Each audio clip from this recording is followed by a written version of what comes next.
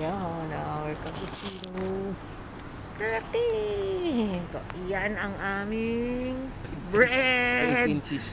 Egg and cheese inside. Yes. Simple breakfast. Kain na. Let's eat. Kaya, Let's bite. Let's Egg bite. nga naman eh, no?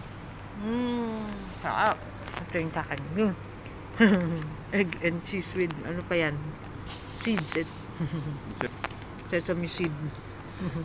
wow, sarap. Oh, with carrot. Yeah. Breakfast kami dalawa. Yan, breakfast namin. Kain. Yummy. Oh. Yan, yan malabar. Restaurant. Ayos. Yay! Sarap!